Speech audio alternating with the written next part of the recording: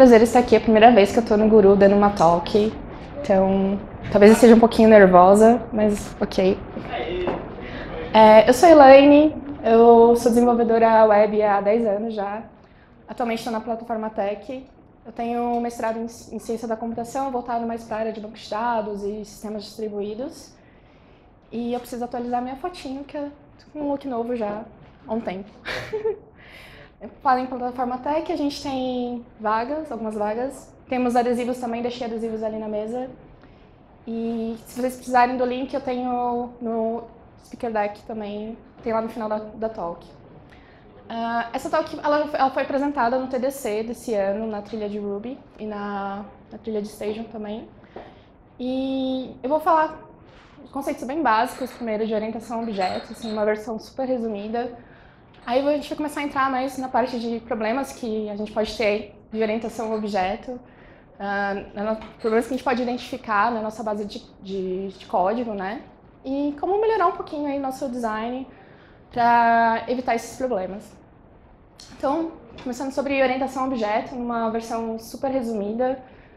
A gente começa lá com o objeto e as classes, né? A gente tem uh, em comum ali atributos e métodos, a gente tem a gente modela nossos sistemas, nossas entidades, nossos, os problemas do nosso domínio por meio da, de, de, classes que vão definir os tipos de objetos e os objetos que vão ter o, o, o estado ali, né? Por exemplo, eu tenho um carro, todo carro no meu sistema precisa ter uma cor.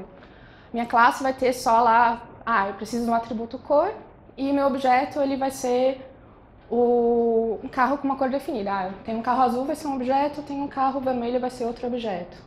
Beleza? A classe vai ser só o templatezinho aqui para a gente criar o, esses objetos. Aí a gente começa a entrar em outros conceitos ali, de herança, polimorfismo e composição. Quando a gente está pensando em herança, a gente está pensando em, em abstrair nosso, nossos objetos, falar assim, olha, isso aqui tem coisa em comum, então eu vou criar uma superclasse eu vou ter lá os, os métodos em comum, os atributos em comuns. Quando tiver especialização, é, eu vou criar uma, né, vou herdar esses métodos comuns e eu vou adicionar novos comportamentos. Exemplo, se eu tiver uma pessoa é, e eu preciso representar pessoas jurídicas e físicas, as duas elas têm um e-mail, de repente, um nome, e aí eu tenho lá na minha superclasse classe pessoa, com, com nome e com e-mail, e vou ter duas especializações, né? Minha pessoa jurídica e minha pessoa física. Aí, aí, eu vou usar esse mesmo exemplo na questão de polimorfismo. Polimorfismo a gente está pensando em como a gente acessar, por meio de uma interface única, né, de um contrato ali entre a que a superclasse define, acessar objetos diferentes. Ah, eu estou trabalhando com pessoas e não quero saber se é pessoa jurídica ou física, eu preciso do documento. Para a pessoa jurídica vai ser o CNPJ, para a pessoa física vai ser o CPF ou o RG, por exemplo. Aí eu só vou ter um método ali, né? Chamo pessoa, ponto documento e devido ao polimorfismo ali, a gente vai conseguir receber a informação correta. Beleza? Aí, quando a gente pensa em composição, a gente está pensando ali em como juntar comportamentos diferentes em um tipo, compor esses comportamentos que nem Lego, né? A gente pega um pedacinho daqui dali, junta essas regras para a gente compor nossos sistemas. É um pouquinho diferente de herança. Uh, as pessoas tendem a defender muito composição sobre herança, mas é, é discussão para uma outra talk e, e, a gente tem que sempre pensar em analisar os trade-offs de cada coisa, entender o motivo né, de quando a gente vai usar herança, quando a gente vai usar composição, porque não é só defender um lado ou outro. Mas isso é para outra, outra talk, né? Então, quando a gente está falando ali em, em, aplicações orientadas a objetos, a gente tem nossos objetos, claro, mas no fundo a gente tem mensagens sendo trocadas entre eles, né? A gente tem um método chamado daqui desse objeto, um método de outro, e é isso aí que vai compor nosso app.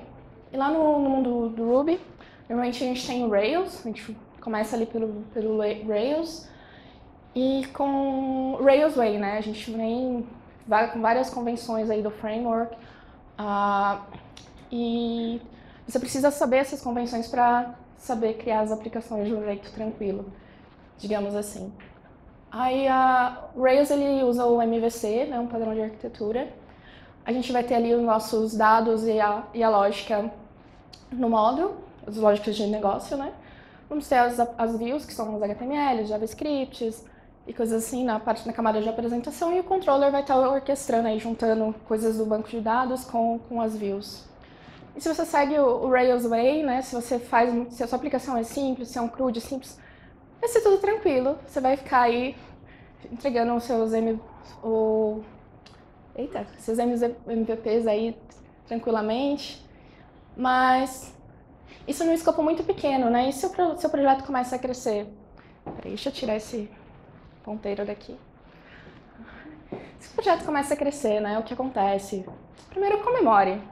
Comemore de verdade, né? Porque você vai ter mais. É possível que você tem mais usuários, você tem gente usando, você tem mais funcionalidades, você tem mais código, tem mais modificações, né? Mais desenvolvedores, talvez, e mais bugs por consequência, né? Tem mais gente aí alterando, mais gente usando, descobrindo bugs. Aí chega naquela cena assim, né? Tipo, ah, bug é normal, né? Toda aplicação, toda aplicação tem, a gente está acostumado a viver com isso. Mas é um, é um problema quando esses bugs começam, não só os bugs, né? Mas quando, sei lá, o tempo de deploy começa a crescer muito em relação ao tamanho da base de código. Tipo, se tem uma alteração, não, mas vai demorar muito porque nossa, nosso código é complexo. Ah, vai demorar, adicionar um campo. Não, vai demorar, sei lá, um mês. Aí, e vai, isso só vai aumentando, só vai, só vai crescendo aí. Aí você chega no assim, vixe, tem, tem alguma coisa errada, né? Vixe, meu código não está tão bom assim. E como a gente começa a identificar sintomas, né? Ter bugs não é um problema, mas quando a gente começa a não crescer de uma maneira saudável, é, é um risco aí que a gente pode estar enfrentando e não percebeu. Então, quais são os sintomas, né? Verifes em todos os lugares.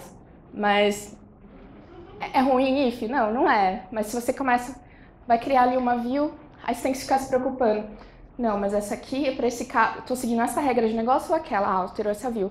Ah, daí você coloca esse mesmo if lá no controller. Aí, de repente, esse mesmo if está lá dentro do model também. Você começa a repetir suas, suas regras de negócio espalhando aí por, por ifs em todos os lugares.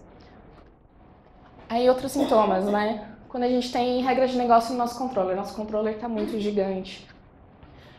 É um, é, um, é um sinal também.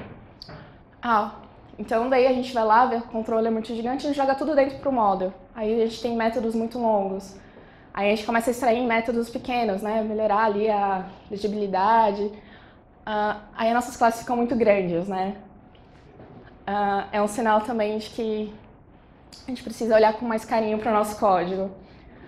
Uh, um outro problema também é que eu já enfrentei num sistema que era grande, excesso de callbacks. Não que callbacks sejam ruins, eles têm seu, suas vantagens e desvantagens, mas às vezes você vai alterar, vai salvar um registro no banco, de repente você enviou um e-mail para o usuário sem querer. Por quê? Porque tinha um callback. Acontece. Uh, ou de repente você tinha um callback chamando outro callback, chamando outro callback e, e você esqueceu de alterar o último callback ali, quebrou e seu, seu registro não foi salvo no banco, você perdeu a informação. Não são boas práticas, mas acontece. É, então, olhar com carinho aí para quando usar uma coisa usar outra, né? Um outro sinal também é a dificuldade para escrever testes. Você tem cenários muito complexos para você escrever no seu teste, é um sinal ali que tem alguma coisa com problema. Um, e também é um outro sinal aí são as classes de difícil manutenção. De repente você tem que adicionar um campo num, num usuário, de repente, ou num, sei lá, numa classe de produto. Aí você já, pessoa já fala, ah, então eu preciso só adicionar esse campo aqui. Você já fala, vixe, vai demorar. Você sabe aonde estão esses, esses, esses problemas no seu código, nessas classes de difícil manutenção. É um outro sinal também é quando a gente tem que dar Ctrl F ou Command F para alterar qualquer coisa. Porque você não sabe se a sua alteração, onde a sua alteração impactou, né? Ela não tem é, um escopo ali claro, da, ela, não, ela não tem assim, ela não limita ali a, a sua alteração ao que ela deveria ser alterada. De repente, adicionei um campo no banco, e esse campo precisa ser enviado para a nota fiscal ali. Tranquilo, então você vai alterar a nota fiscal, vai alterar um produto de repente, mas de repente você alterou o usuário. Tipo, porque por causa dessa lógica aí toda espalhada, né? Aí uma outra dor ali que a gente pode sentir também, quando a gente sabe que tem arquivos constantemente alterados. De repente você adiciona uma regra, uma regra, daí depois essa regra você descobre que ela está com bug, ela não era mais válida, você dá rollback, nesse código some, não aparece ali. Mas você adiciona, daí tem outra pessoa alterando. Um esquema legal para ver isso é olhar o, Git History, para ver como que esses arquivos aí estão evoluindo ao longo do tempo também. Opa, pulei. Uh, então, você sabe algumas dores, acho que não sei se todo mundo já passou por isso, mas acredito que seja normal. E agora como faz, né? Como a gente pode reduzir um pouquinho isso, né? Dificilmente você vai chegar na perfeição, mas a gente pode reduzir esses, esses sintomas. A gente começa lá pelo dry, né? Defendido pelo, pelo Rails, don't repeat yourself. A gente tenta reduzir a duplicação, não necessariamente de código, vamos falar mais sobre isso tentar reduzir a duplicação de regras de negócio, reduzir, não é só, ah, eu vou fazer uma comparação de uma string aqui, uma comparação de uma string lá, eu vou fazer uma classe para fazer, criar um método para fazer essa comparação. Não, conheça, entenda qual que é a regra de negócio ali que, que o Dry está tentando centralizar, né? Você está tentando ali definir o escopo daquela, daquela regra. A gente tem alguns alguns meios aí, né, de reduzir essa duplicação de, de lógica por, por, aí. A gente pode usar os helpers, a gente pode criar presenters na camada da view. A gente pode ir lá para um, uma área lá de mais para model, banco de dados, usando Single Table Inheritance, né, o STI, ou Polymorphic Association. Esses são um pouquinho polêmicos, esbarrar ali na questão de quando a gente tem que usar herança, quando não tem, como vai ser o desempenho do meu banco de dados, como, como não vai ser. Então, essas, essas duas últimas aqui dependem muito de como é, quanto você conhece da sua aplicação, ok? Que é a, quando a gente pensa em herança, nem sempre o que a gente acha que, que é uma subclasse, ela deveria ser, e depois para você modificar isso é meio complicado. A gente vai ver um pouquinho disso na, lá na frente. E concerns, muito cuidado. Por quê? Porque eu já sofri muito com isso. É, você aumenta a direção ok, você consegue, ah, não vou repetir esse comando, essa lógica, vou criar um concern, vou criar lá um módulo que, que tem essa regrazinha e vou usar em todos os lugares que usar, que usar esse, essa mesma regra. Mas de repente você tem um método que você usa no seu, na sua classe aqui, que chama uma coisa do concern, e o concern conhece alguma coisa da classe que ela usa, e você só aumentou a direção, jogou as coisas por baixo do, do pano ali e falou, ah, só vou dividir em muitos arquivos, ninguém ninguém vai ver que a minha classe ficou gigante, que a minha regra de negócio está complexa. Então, cuidado, usem com muito carinho. Uma outra forma aí de deixar um pouquinho mais visível algumas coisas são os service objects, um pouco polêmicos. Às vezes gera algumas discussões lá, na, lá no serviço, mas eu gosto dessa definição aqui da gente ter uma classe puro, né, do, do Ruby, com em que eu recebo todo o que a gente precisa ali no initialize. Ele vai representar para mim um caso de uso, né, uma regra de negócio, e ela vai ser explícita. Eu vou ver o que está acontecendo ali em todo, todos os steps que estão acontecendo. É um exemplo bem simples, se eu tivesse uh, um sistema de reserva de livros, é, em que eu tivesse que, que informar um usuário que ele reservou um livro. Então ali eu estou recebendo um user, um book e o serviço de notificação no meu initialize, e quando eu confirmar isso, eu já sei que eu estou associando esse livro, estou reservando esse livro para o meu usuário, estou enviando de repente um e-mail falando que ele finalizou essa operação. Então a gente tem ali uma, uma ideia de transação, né? uma, uma unidade de lógica de processamento. Você tem um, um, é uma transação do, representando o que aquilo deveria ser feito. Né? Se de repente eu salvei o livro e não enviei o e-mail, não, ele quebrou minha transação, eu deveria refazer essa operação. Tem outros padrões aí não vou entrar neles, deixei o link ali. Uh, são outros objects e a gente pode ver com mais calma depois. Uh, mas o, o, core aqui da, dessa talk é falar sobre Solid, que é um, um princípio assim bem difundido no, em, em relação à orientação a objeto, não só para Ruby, ok? Então a gente vai começar vendo por calma. Solid é uma, um acrônimo ali para cinco princípios, ok? É, o primeiro princípio é o princípio de responsabilidade única. E a gente vai olhar para pegar uma classe e vai olhar para o que ela faz. Ela tem que ter uma única responsabilidade. Você pergunta lá e fala assim: "Ah, classe, o que você faz?" Se ela começar, se você começar a responder as regras, a o que, com o que ela se preocupa, né? Ah, ela envia o e-mail e ela valida o usuário e ela ou ela notifica a gente que falhou, sei lá, estou dando exemplos aleatórios aqui, mas usar o eu ou o ou na explicação sobre essas responsabilidades é um sinal de que tem algo errado. Uh, qual, é o, qual é a ideia desse princípio? Você criar uma classe que todos os seus métodos sejam relacionados, eles resolvam pro, é, problemas dentro do mesmo contexto. Single responsibility não é você ter um único método para resolver uma coisa, é você ter uma classe, ter uma classe ali, um objeto que, que, que é coeso, que ele resolve um problema só, que ele tem uma única razão para mudar. Uh, e que uma vez que você altera alguma coisa nesse, nessa classe, ela tem efeitos previsíveis. Ah, você sabe quem usa ela, que deveria usar corretamente, e você só mantém esse, espalha essa alteração de uma maneira sem tantos efeitos colaterais. Aí, exemplos são sempre bons. A gente usa aquele mesmo exemplo lá do, do Service Object, mas é que pensando mais em callbacks. Ah, de repente eu tenho aqui minha classe de, de associação, estou relacionando ali o livro com o usuário, eu coloco lá um after commit e envia para mim um e-mail então, toda vez que você salvar um registro, de repente você está fazendo um teste ou está corrigindo alguma, fazendo alguma alteração, você salvou ali no console e enviou um e-mail para o usuário. Uh, aí começa, você começa a perguntar, né, o que, que essa classe faz? Ela faz persistência de banco e envia e-mail. É, ela tem responsabilidades a mais aí. Aí, que tal usar um Service Object ou algum outro padrão para deixar essa regra mais clara? Uh, um outro princípio ali, a segunda letrinha, Open Close Principle, que é o princípio do aberto fechado. Tem uma tradução um pouco estranha.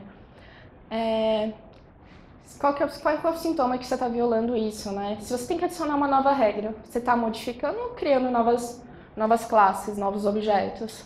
Se você está modificando, é um, é um indicativo de que tem algum problema aí. Uh, então é a ideia do aberto para extensão e fechado para modificação.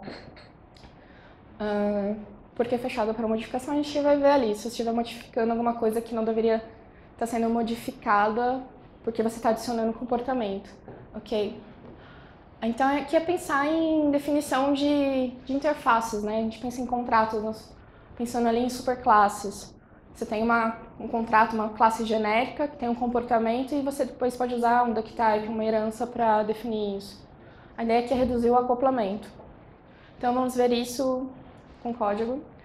Uh, de repente eu tenho aqui um relatório financeiro e eu preciso só enviar o arquivo das minhas transações ali na, na, minha conta e eu posso escolher o formato de arquivo que eu quero receber. Se eu quero receber um, um CSV, um XML e vou enviar um e-mail uh, com, com esse arquivo anexado. Aqui só um exemplo, esse código não sei se funciona, funcionaria.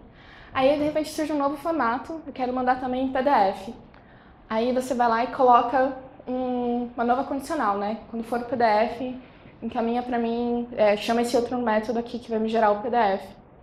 Aí você editou um arquivo que já tinha, que não precisava se preocupar com essa regra, tipo, a sua, o seu serviço que vai enviar o um e-mail deveria só receber o arquivo e enviar. Então aqui a edição para adicionar o comportamento é um sinal de, de que alguma coisa precisaria ser mudada. Como a gente poderia resolver isso, né?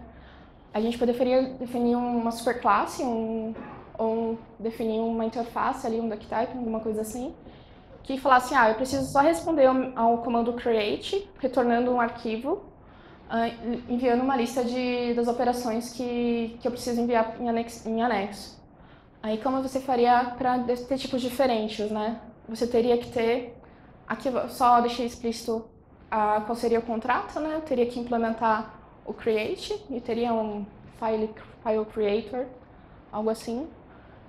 E as minhas, minhas subclasses poderiam reescrever esse método. Que nem lá o XML, ele poderia chamar o método que gera o XML. Reparem que pode ter métodos diferentes, né? Você encapsula isso e, e você transforma em uma caixinha preta para como você vai fazer esse parse. Ah, então o CSV também tem um outro método aqui. Se eu tivesse que criar o PDF, eu criaria uma nova classe. Eu estaria adicionando uma nova classe. Aí, se eu fosse usar isso, eu só passaria a referência da, do, do, objeto que eu queria, que eu, que eu quisesse, né? Em vez de, ah, se eu quisesse do PDF, mandaria o PDF, se precisasse XML, e tudo funcionaria porque ele respeita o contrato. Uh, a outra letrinha é o L. Essa é, eu diria que é uma das mais difíceis de ser lembrada, porque a gente fala de Liskov Substitution Principle, tipo, o princípio de substituição de Liskov. Aí fica uma coisa assim que você não, entende muito bem, né, sobre o que que é. Uh, Liskov é uma pessoa, é a Bárbara Liskov, ela é professora do MIT. Ela tem vários trabalhos uh, na, na, área de teoria da computação, lá quando a gente começa a definir o que, que é uma abstração de dados, o que, que é um tipo, o que, que é um subtipo. E ela foi uma das ganhadoras do prêmio Turing, que é equivalente ao Nobel financeiramente também, em questão de reconhecimento, por contribuições científicas por mais de 25 contribuições na área da computação que tiveram impacto por, por muito tempo, acho que mais de 25 anos, se eu não me engano.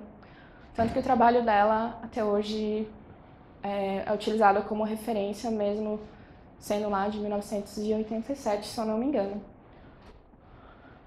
E qual que foi o trabalho dela, né? Ela definiu um princípio ali para a gente definir superclasses e subclasses. Que é assim, princípio matemático, né? Seja φ de x uma propriedade demonstrável sobre objetos x do tipo t. Então, o φ de y deve ser verdadeiro para os objetos y do tipo S, onde S é o subtipo de T. Aí você fica assim, tipo, eita.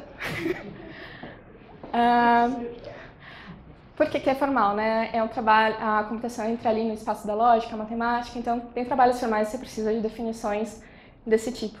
Mas o que, que ela está falando? Ela está falando sobre contratos entre superclasses e subclasses. Né? A gente tem que, quando a gente definir um subtipo, uma subclasse ali, ele tem que respeitar os contratos definidos pela classe base. E como a gente faz isso, né? Não é só reimplementar ali a interface, ah, eu estou recebendo um parâmetro, vou continuar recebendo um parâmetro e devolver um, um outro valor. Não. Você tem que se preocupar quais são as suas pré-condições né, em relação aos dados de entrada e as suas pós-condições em relação a esses dados de saída. Os dados de entrada ali a gente está vendo ah, as nossas classes, as subclasses, as classes derivadas, elas têm que ser mais permissivas. Elas não podem restringir os dados que ela aceitava. Se ela aceitava de, de 1 a 10, ela tem que, ter, tem que continuar aceitando esse valor. Você pode aumentar. Ah, vou aceitar de menos 10 a, a 20. Pós-condições em relação ao que ela está retornando. Eu não posso retornar mais, eu tenho que retornar ou aquilo que, que a minha superclasse retornava ou menos. Eu posso ser mais restrito. Né? Por que isso? Porque a gente não quer ter comportamentos inesperados ou incorretos quando a gente está trabalhando com superclasses, com, com os nossos objetos mais genéricos ali, né? Uh, aí um exemplo, exemplo de conta corrente. Suponha que você tem dois métodos ali, né? O depósito, eu posso depositar valores que tem que ser maior que zero, não posso depositar valores negativos, eu espero. E, e para as minhas classes de conta corrente, de repente eu tenho um cálculo de bônus ali, uh, que roda de x e x tempos.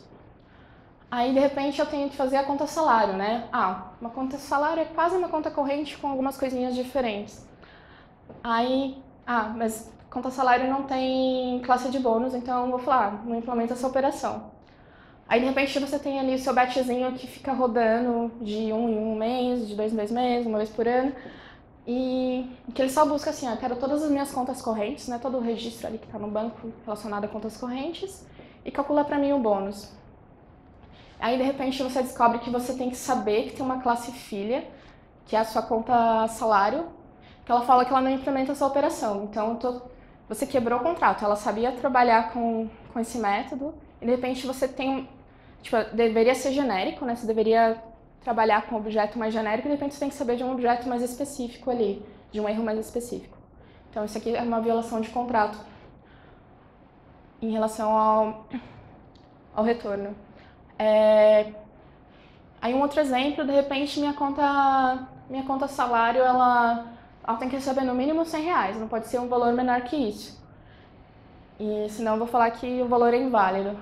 Também é uma quebra de contrato. Ele esperava, ele vai enviar de repente ali o valor 1 e vai quebrar, porque ele não vai saber que, que é uma conta salário. Aqui é só um exemplo. Por, porque, ah, nem sempre porque parece uma herança, ela é uma herança, né? Deveriam ser classes diferentes. Se o contrato não pode ser respeitado, deveriam ser classes diferentes. Um exemplo clássico que a gente sempre procura sobre Liskov é o retângulo e o quadrado. Quando a gente fala assim, ah, um retângulo, todo quadrado é um retângulo, né? Então vamos vamos fazer essa representação aí do, da, da matemática no nosso código. Então, o retângulo tem, área, tem, tem lados diferentes. Eu posso passar lados diferentes e vou calcular a área multiplicando um pelo outro. Aí, de repente, no, no meu quadrado ali, aqui eu quebrei de propósito o, contra, o, o initialize, porque ele vai receber só um lado, ele só precisa de um lado, ele não, não tem lados diferentes. E, e se de repente eu estou trabalhando no nível do retângulo ali, eu espero que ele possa, ele, ele possa ter lados diferentes, de repente eu falo que meu quadrado não pode, você quebrou esse contrato. É uma abstração errada aí. Então o Liskov é sobre isso. Aí o I, a Interface Segregation Principle, princípio de segregação de interfaces.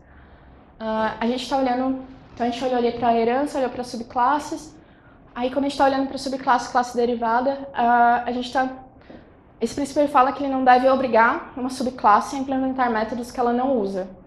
Como é isso, né? Se de repente eu tenho minha representação da máquina de café, em que ela sabe fazer café, ela tem um comando lá para fazer café e tem um comando para você repor os grãos.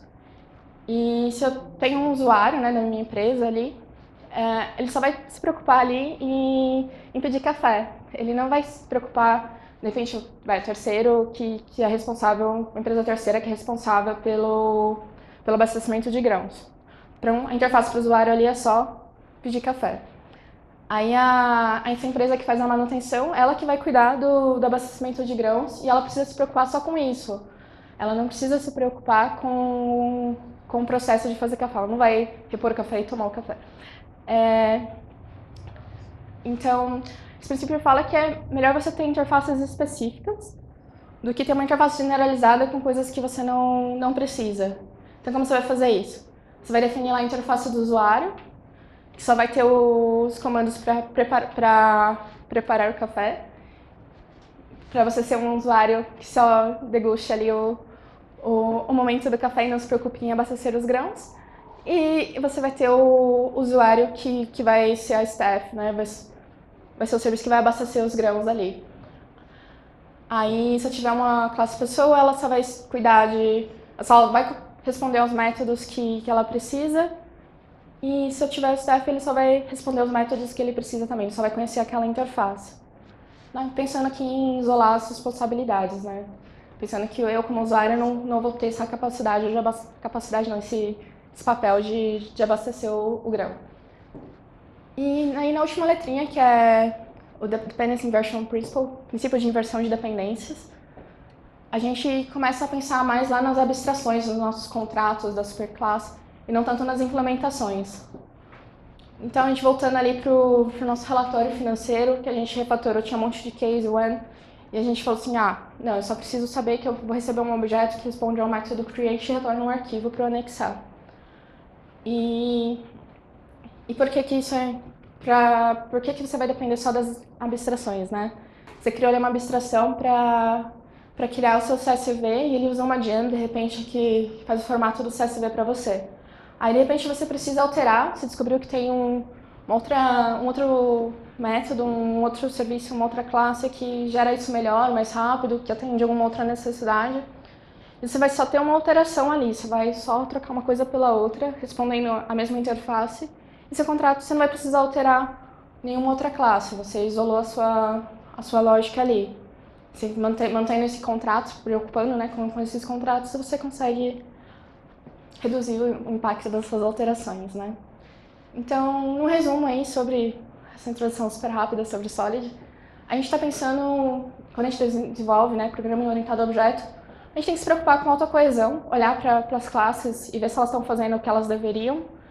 Uh, baixo acoplamento, ah, se eu estou alterando uma regra de negócio aqui, de repente eu tenho que espalhar, espalhar essa regra por aí, tem um problema de acoplamento.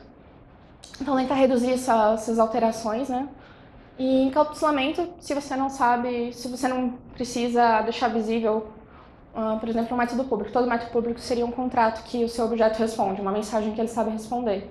Se você quer isolar isso, não quer que ninguém use, transforma no método privado, encapsula isso. É, a gente tem que ter essa preocupação ali na hora de desenvolver, né? Uh, agora que a gente aprendeu sobre alguns princípios, a ideia é sair refatorando tudo, né? A gente vai sair reescrevendo, abrindo PRs à torta e à direita. calma, vamos conversar um pouquinho. É, a ideia desses conceitos, né, eles tornarem as interfaces, as nossas aplicações mais flexíveis, né.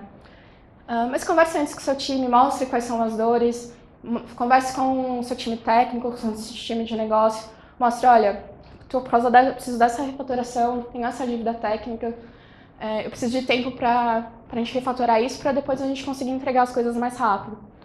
Dialogue sempre, converse com, mostre as vantagens e desvantagens, né? E antes de implementar alguma coisa, também analise, ah, será que isso aqui faz sentido para o meu contexto ou não faz? Uh, né, analise sempre esses trade-offs, né? O que, que eu vou ganhar, o que, que eu vou perder com isso, o que o time vai ganhar, o que, que o time vai perder, o que, que, o, que, o meu negócio vai ganhar com essa alteração não vai. Uh, e um cuidado muito grande é quando a gente fala de, ah, vamos seguir padrões, vamos pensar em princípios, toma cuidado com o big design upfront, né? Não tentar prever o futuro e falar assim, não, vou criar, criar essa super classe aqui que vai atender todos esses cenários que eu pensei. De repente, na semana seguinte, mudou sua regra de negócio e você tem que... Sua, sua abstração não faz mais sentido, né? Então, ter sempre esse, esse cuidado. E nunca esquecer que codar é um processo de comunicação, né? A gente está se comunicando com a máquina, está se comunicando com seus pares, se comunicando também com você do passado, você do futuro, com o futuro do seu, com o presente do, dos seus pares, com o futuro dos seus pares. Com, então é sempre um diálogo. É, pense sempre no código legado ali, né? O que você vai deixar de, de legado. E e acabou.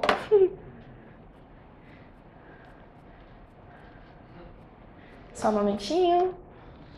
E se a gente quiser pensar mais em, em design, tentar olhar para o padrão de projeto, para um caminho de TDD, DDD. E sobre as minhas referências, as referências, esses exemplos não vieram do, do nada, vieram do livro da Sandy Metz e do, do livro do Anish sobre orientação a objetos. Da Sandy Metz é mais voltada para Ruby, do Anish é sobre orientar mais para Java, mas tem uma linguagem muito fácil de entender também. Uh, os livros também do, do Uncle Bob. E o grupo do Rails Girls aí que está sempre apoiando as discussões e iniciando os eventos. E é isso. Até uma próxima, gente. Muito obrigada. Tiverem dúvidas.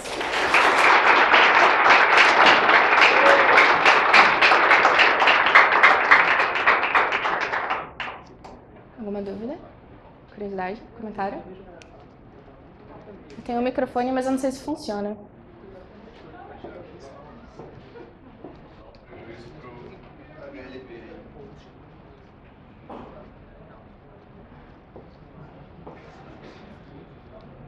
Não sei se eu estourei o tempo também. Olá. Então, a minha dúvida é, é lá no O do Solid. Uhum. Aí você estava mostrando o que tinha o XML parser, tinha os CSV parser. Acho que no seu exemplo era o quarto caso é, de novo, novo formato. Ele falou, pô, vamos usar o princípio aqui, legal. Aí a pergunta é, quando que eu começo a usar isso? Eu, você acha que faria sentido já começar de cara, em vez de eu, eu já, em vez de usar o case when, then, o case when, eu de cara já esperar um criador diferente, eu já colocar para fora isso? Então, a gente levantou algumas discussões, a gente tem uns grupos de estudos lá na, na, na plataforma Tech. Uh, quando a gente começa essas refatorações, essa, esse, é, esse design, né, pensando no futuro, então, assim, ah, talvez seja legal, ou quando você tiver uma segunda, um segundo caso, para você, você vai adicionar um if ali, ou até um terceiro, porque você já, primeiro você vai ter a questão do, de conhecer qual é seu a regra de negócios, qual é o comportamento ali que aquele contrato deveria ter, né? Tem um processo de evolução tanto do negócio em si quanto do código. Uh, agora, se é uma coisa assim muito muito clara, que você já trabalhou em algum outro lugar, que você sabe, ah, para esse caso aqui, eu vou enviar um PDF, mas com certeza alguém vai querer um outro formato, então eu já vou me preparar e cuidar mais da interface. Talvez seja uma vantagem, mas é, é sempre na pegada assim de, de discutir com com seu time se eles acham, se eles veem vantagem ou não. Não é um problema ter um if ou um case. O problema é quando isso começa a se espalhar pelo seu código. Se você acha que você vai colocar no, no, quando você tiver o seu segundo caso, né? Você tem lá o PDF, de repente você tem o seu XML também. Se você já sabe que nesse caso você vai ter que espalhar seu if por vários lugares, aí vale a refatoração. Às vezes antes talvez não valha tanto. É, o esquema do trade-off, né? Tentar analisar assim, ah, quando será que eu estou ganhando alguma coisa ou só estou adicionando em direção? Só estou adicionando complexidade aqui, eu não estou ajudando o meu time a entender esse código. Tem que, tem que ver a maturidade do time, ter que conversar. Eu acho que não, não existe resposta certa. É, é a vida. Foi? Vocês podem me perguntar depois no Twitter ou no... pessoalmente também. Fique à vontade.